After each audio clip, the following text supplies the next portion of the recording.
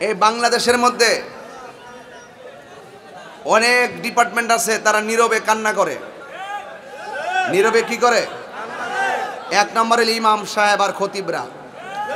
দুই নম্বর হলে এই যে স্কুলে যারা চাকরি করে, মাদ্রাসা যারা চাকরি করে, বেতন ভালোই দেয়, কিন্তু এই বেতন দিয়ে সংসার চলে না। ঠিক কি না বলেন? এই মসজিদের ভিতরে মসজিদের ভিতরে ইমাম সাহেবদের বেতন যেই বেতন দেয়, এই বেতন দিয়ে ইমাম সাহেবের এক সপ্তাহ বাজারও হয় না। এখন বলবেন, হুজুর, চলে কেমনে? আল্লাহ চালায়। চলে কেমনে? আল্লাহ চালায়। ইমাম সাহেবরা আমরা মূল্যায়ন করতে জানি না।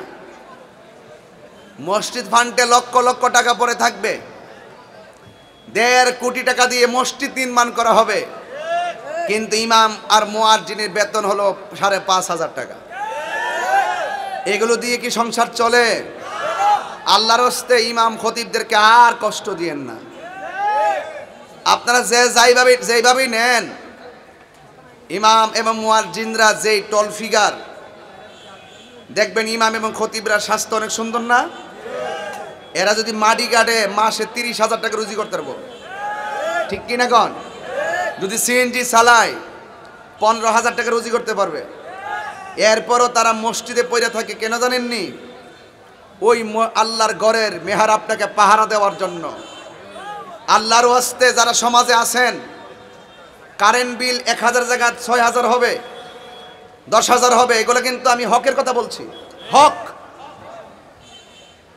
আপনি শুধু বলেন কি একটা দায়িত্ব বিহাজার ইমাম। ইমামের উপরে একটা থাকে এটা নামাজ আল্লাহ আকবর করে হারিয়ে যান গা। আর ইমাম সাহেব আপনার জিম্মাদারি নিয়ে নামাজে দাঁড়ায়। আর ওই ইমাম সাহেবের বেতন দেওয়ার সময় আপনারা হিসাব করেন। অথচ এই মসজিদের ভিতরে কি বৃষ্টি পড়ে? আরে মাইক রে মাইক। যাক, আসবে, আমি চিলি দিলে একটু ইউনিট কেটে দিতে পারে। কষ্ট নিয়েন না। তা আমি যেটা এখন আওয়াজ আসে?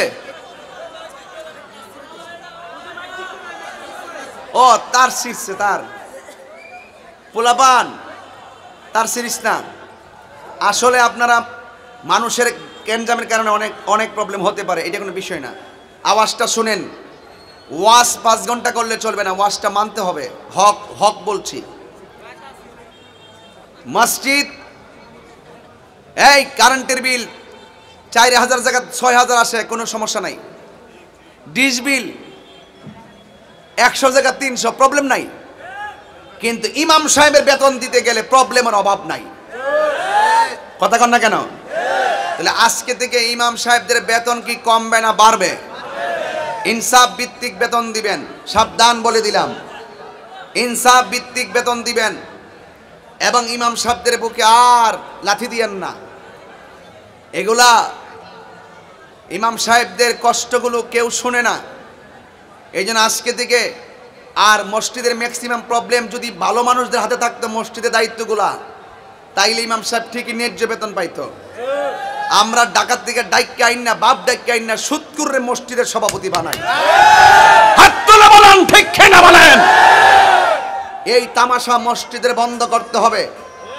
আল্লাহর ঘর এই ঘরের মধ্যে যদি হারাম খুরের দায়িত্ব দেওয়া হয় তাহলে যেই সমাজের আল্লাহর ঘরে হারাম খুরের হাতে দায়িত্ব দেওয়া হয়, ওই সমাজে কখনো শান্তি আসতে পারে? না। অধিকার নষ্ট করা হচ্ছে। এই হকুল্লাহ আল্লাহর হক। নামাজ পড়তে হবে। রোজা রাখতে হবে। আমাদের ইমামের নাম কি বলছিলাম বাবা? ইমামে আজম আবু হানিফা। তিনি কেমন ইমাম? যিনি একাধিকবার আল্লাহকে স্বপ্নে দেখেছেন। আপনি দেখছেননি? তাইলে যিনি দেখছেন তার চোখের দাম কি কম না বেশি? তিনি একদিন মসজিদে গেছে, যাইয়া দেখেন এক মুসল্লি উজু করতেছে। ওই মুসল্লি যখন উজু করে, তখন ওই মুসল্লির দিকে তাকাইয়া ইমামে আজম আবু হানিফা রহমাতুল্লাহ আলাই তিনি হাসতেছেন। তখন আরেকটা মুনাফিক মুসল্লি দেখা ডাক দিয়া কয় এই ইমাম সাহ এই লোকটা উজু করে আপনি হাসলেন কেন? আবু হানিফা বলে, আমি হাসছি, এটা আমার ব্যক্তিগত ব্যাপার। প্রত্যেকটা মসজিদে, অনেক মসজিদ দেখবেন মুনাফিক বেশি। এরপরে ওই মুনাফিকটা গ্রামের সর্দার মাতবরের কাছে ইমামের বিরুদ্ধে বিচার দিছে।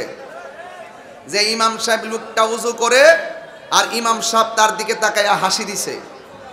তখন এলাকার মানুষ নিয়ে ইমাম সাহেবের বিরুদ্ধে বিচার জমাইছে। ইমাম সাহেব আবু হানিফা রহমতুল্লাহ আলাইকে জিজ্ঞেস করে, এ আবু হানিফা, আপনি কি তাকে দেখে হাসি দিয়েছেন? হ্যাঁ আমি হাসি দিয়েছি। ভালো কাজ দেখে উৎসাহ না দিয়ে হাসি করা কি তিরস্কার নয়? ইমাম আবু হানিফা বলে, তোমার কাছে তিরস্কার হতে পারে, কিন্তু আমি যা করেছি ভালোই করেছি। সুবহানাল্লাহ।